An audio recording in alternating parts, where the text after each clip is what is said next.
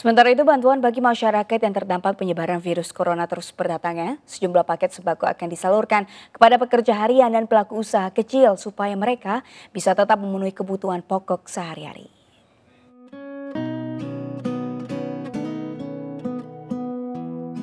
Pekerja harian dan pelaku usaha kecil merupakan golongan masyarakat yang terdampak cukup parah dalam sektor ekonomi sejak virus corona mewabah di Indonesia.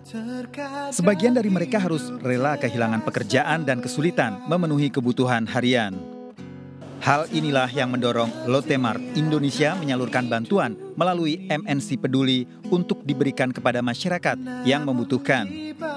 Sejumlah paket sembako yang disalurkan meliputi kebutuhan pangan seperti mie instan, gula, minyak, dan susu untuk anak dan balita. Bantuan ini diharapkan bisa meringankan beban masyarakat, terutama bagi mereka yang kehilangan pekerjaan atau penghasilan semua yang telah diserahkan kepada kami akan secepatnya didistribusikan langsung kepada yang membutuhkan, uh, baik itu langsung diberikan kepada masyarakat maupun institusi yang langsung menangani pencegahan virus corona. Ya, kita memang uh, tergerak untuk membantu uh, sembako, kebetulan untuk mungkin disalurkan kepada masyarakat uh, kurang mampu yang saat ini saya rasa memiliki uh, terdampak cukup paling besar ya atas uh, apa kasus ini.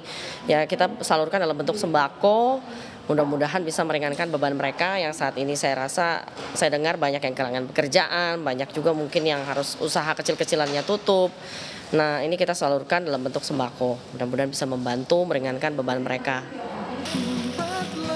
MNC Peduli mengajak masyarakat untuk ikut berpartisipasi menyalurkan bantuan di tengah pandemi COVID-19.